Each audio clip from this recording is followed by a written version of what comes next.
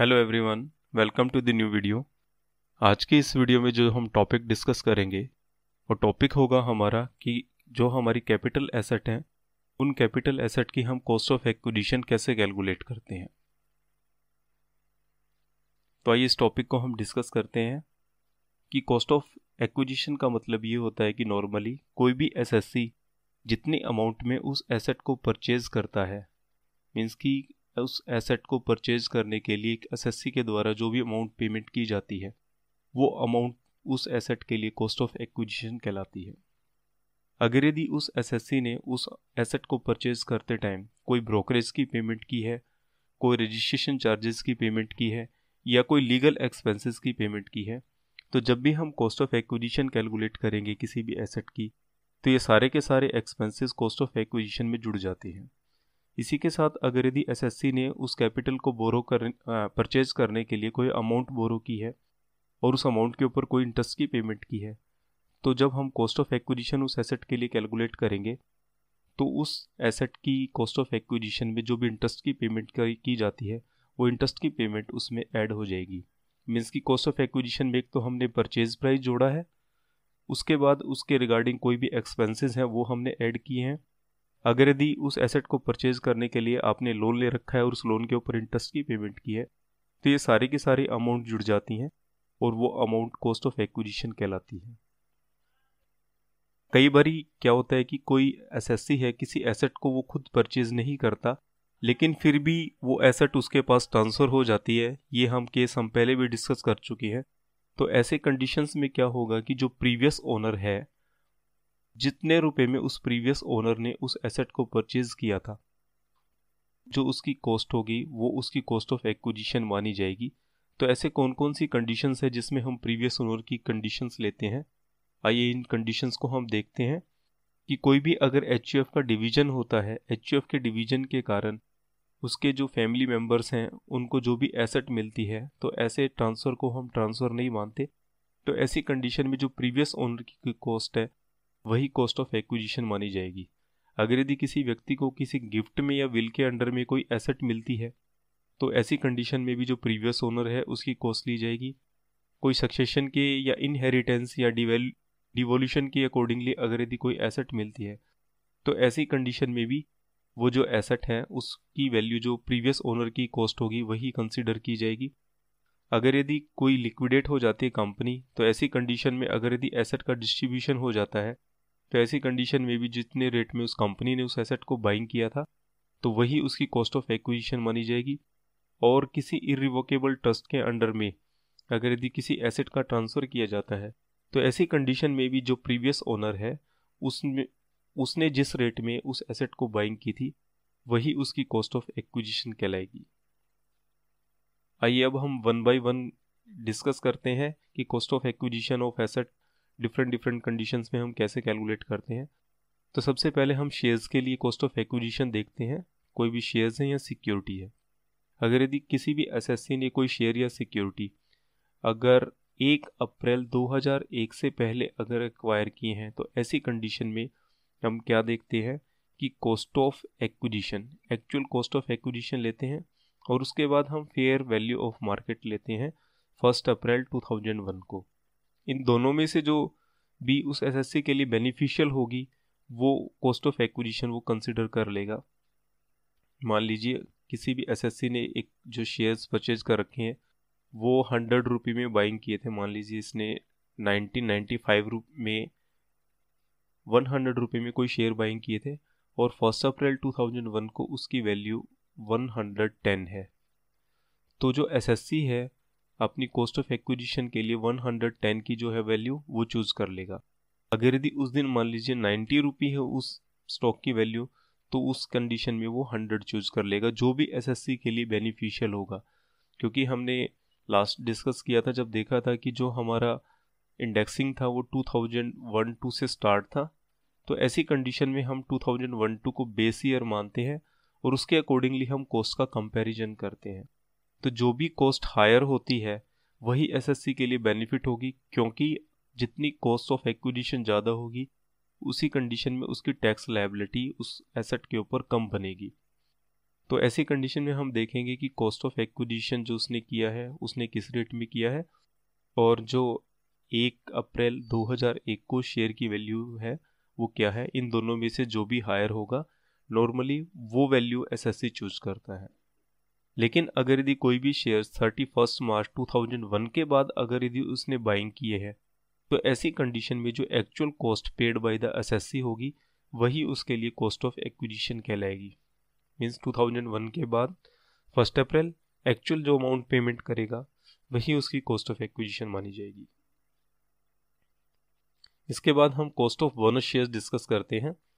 अगर यदि cost of bonus shares अगर यदि किसी भी व्यक्ति को फ़र्स्ट अप्रैल 2001 के बाद अगर यदि मिलते हैं। 2001 से पहले सॉरी 2001 से पहले अगर यदि किसी व्यक्ति को बोनस शेयर मिलते हैं तो ऐसी कंडीशन में उन शेयर्स की वैल्यू जो फ़र्स्ट अप्रैल 2001 को होगी, वही उस एसेट की वैल्यू मानी जाएगी। क्योंकि बोनस शेयर आपको पता है कि उसके लिए हम कोई अमाउंट पेमेंट नहीं करते तो ऐसी कंडीशन में एक तो अमाउंट आ जाएगी नील ज़ीरो आ जाएगी और एक अमाउंट मान लीजिए दो टू थाउज़ेंड वन में जो वैल्यू आती है उस बोनस शेयर्स की, वो ऐसी कंडीशन में मान लीजिए हंड्रेड रुपी है। तो ज़ीरो में और हंड्रेड में हम कंपेयर करेंगे तो हमेशा ये वाली अमाउंट आपको ज़्यादा ही मिलेगी। तो ऐसी कंडीशन में हम यहाँ पर ये भी लिख सकते हैं कि जो भी बोनस शेयर्स की जो वैल्यू होगी कॉस्ट ऑफ़ एक्विजिशन अगर ये 2001 से पहले मिले हैं तो जो भी रेट उस शेयर्स का 2001 को होगा फ़र्स्ट अप्रैल 2001 को वही उसकी कॉस्ट ऑफ़ बोनस शेयर्स मानी जाएगी। लेकिन अगर यदि बोनस शेयर्स किसी व्यक्ति को टू फ़र्स्ट अप्रैल 2001 के बाद मिलते हैं तो ऐसी कंडीशन में उनकी कॉस्ट ऑफ़ एक्विजिशन हम नील मानेंगे। क्योंकि बोनस शेयर्स पेमेंट रिसीव करने के लिए किसी भी एसएससी की कोई भी एक्सपेंसेस नहीं होता, कोई भी वो अमाउंट पेमेंट नहीं करता तो ऐसी कंडीशन में जो कॉस्ट ऑफ़ एक्विजिशन होगी वो नील मानी जाएगी। इट मीन्स कि अगर यदि फ़र्स्ट अप्रैल 2001 के बाद किसी भी व्यक्ति को अगर बोनस शेयर्स मिलते हैं और उनको वो सेल करता है तो सारा का सारा जो उसका गेन होगा, वो कैपिटल गेन माना जाएगा और टैक्सेबल हो जाएगा। इसके बाद सेल्फ जनरेटेड एसेट के रिगार्डिंग हम जो कॉस्ट ऑफ़ एक्विजिशन देखते हैं, वो क्या होते हैं? सेल्फ जनरेटेड एसेट लाइक जैसे गुडविल है टेनेंसी राइट है route permit trademarks copy rights तो अगर यदि आप ऐसे राइट्स किसी व्यक्ति से परचेज करते हैं तो इसके लिए जो कॉस्ट ऑफ़ एक्विजिशन होगी, जितने रुपए में आपने उन राइट्स को परचेज किया है, वही उसके लिए कॉस्ट ऑफ़ एक्विजिशन मानी जाएगी। लेकिन अगर यदि वो सेल्फ जनरेटेड कैपिटल एसेट है तो ऐसी कंडीशन में जो कॉस्ट ऑफ़ एक्विजिशन मानी जाएगी, वो नील मानी जाएगी, क्योंकि इस एसेट को जनरेट करने के लिए उस व्यक्ति ने किसी को कोई भी पेमेंट नहीं की है तो ऐसी कंडीशन में जो cost of acquisition of self generated asset है, वो नील मानी जाएगी। अब है कि राइट शेयर्स अगर यदि आपने परचेज किए हैं तो उसके लिए कॉस्ट ऑफ़ एक्विजिशन हम कैसे कैलकुलेट करते हैं? तो इसमें हम तीन अलग अलग पॉइंट डिस्कस करते हैं। तो सबसे पहला पॉइंट आता है कि अगर यदि एसएससी उन शेयर्स को खुद से सब्सक्राइब करता है तो ऐसी कंडीशन में जितनी अमाउंट वो कंपनी को पेमेंट करेगा, वो अमाउंट उसके लिए कॉस्ट ऑफ़ एक्विजिशन होगी। राइट शेयर्स मीन्स की रिलेटिवली हमारे को लेसर प्राइस पे, जो भी कंपनी का जो मार्केट में प्राइस होता है, उससे कम रेट पे मिलते हैं। तो मान लीजिए कि एक कंपनी ने राइट शेयर उसको सौ रुपये में दिए हैं और उसको पाँच सौ शेयर राइट शेयर्स मिले हैं तो उसने कंपनी को कितनी अमाउंट पेमेंट की? फिफ्टी थाउज़ेंड रुपीज़ तो अगर cost of acquisition of right shares हम इस कंडीशन में कैलकुलेट करेंगे तो उस एसएससी के लिए वो फिफ्टी थाउज़ेंड कैलकुलेट होकर आएगी। सेकेंड कंडीशंस क्या आती है कि राइट में एक ऑप्शन भी होता है, आप अपने राइट को किसी दूसरे व्यक्ति को भी ट्रांसफ़र कर सकते हैं। तो अगर यदि किसी व्यक्ति को आपने राइट ट्रांसफ़र कर दिया है और उस व्यक्ति ने उस कंडीशन में आपको कुछ बेनिफिट दिया है, मान लीजिए आपने मिस्टर ए था, उसने कोई अपना राइट बी को ट्रांसफ़र कर दिया और बी ने उस राइट के एवेज में उसको टेन थाउज़ेंड रुपीज़ दे दिए। तो ये जो टेन थाउज़ेंड के टेन थाउज़ेंड रुपीज़ हैं, ये कैपिटल गेन माने जाएँगे और ये शॉर्ट टर्म कैपिटल गेन होगा। क्योंकि राइट के लिए आपको कोई पेमेंट नहीं देना पड़ता जब तक आप उस शेयर्स को परचेज नहीं करते हो। आप किसी को कोई भी अमाउंट पेमेंट नहीं करते हो, यहाँ पर सिर्फ़ आप अपना एक राइट ट्रांसफ़र कर रहे हो। उस राइट ट्रांसफ़र करने के कारण आपको बेनिफिट मिला है, न कि आपने कोई पेमेंट की है उसके लिए। तो इस कारण से क्या होगा कि जो भी कैपिटल गेन आएगा, वो आपका शॉर्ट टर्म कैपिटल गेन आएगा, क्योंकि ये जो ट्रांजेक्शन्स होती है, बहुत शॉर्ट पीरियड में होती है। मतलब विद इन आपके मंथ का आपको मैक्सिमम टेन्योर मिलता है तो इस इस कारण से ये जो गेन आ जाता है इसको हम शॉर्ट टर्म कैपिटल गेन हमेशा कंसिडर करेंगे लॉन्ग टर्म कैपिटल गेन नहीं होगा। जो थर्ड कंडीशन आती है कि अगर यदि आपने किसी व्यक्ति से राइट्स के लिए परचेज किया जैसे हमने सेकंड कंडीशन में देखा था कि आपने किसी को ट्रांसफ़र किया था, इसी तरीके से आप किसी दूसरे व्यक्ति से भी राइट का ऑप्शन परचेज कर सकते हैं। तो ऐसी कंडीशन में जो कॉस्ट ऑफ़ एक्विजिशन होगी, वो क्या होगी? कि amount paid to the company for the shares plus amount paid to purchase of right means कि अगर यदि मान लीजिए आप यहाँ पर बी व्यक्ति होते, जो हमने ये कंडीशन डिस्कस की है, इसमें अगर बी होते तो ऐसी कंडीशन में आप फिफ्टी थाउज़ेंड रुपीज़ तो कंपनी को पेमेंट करते। अगर यदि आपने फाइव हंड्रेड शेयर्स बाइंग की है राइट के लिए तो आपने फिफ्टी थाउज़ेंड रुपी पेमेंट करने थे कंपनी को। तो फिफ्टी थाउज़ेंड तो कंपनी को पेमेंट किए वो प्लस आपने टेन थाउज़ेंड रुपीज़ ए को पेमेंट किया है वो। तो ये दोनों ऐड हो जाएँगे तो ऐसी कंडीशंस में जो राइट्स की कॉस्ट ऑफ़ एक्विजिशन आएगी, वो सिक्सटी थाउज़ेंड रुपी आएगी। जिट क्लियर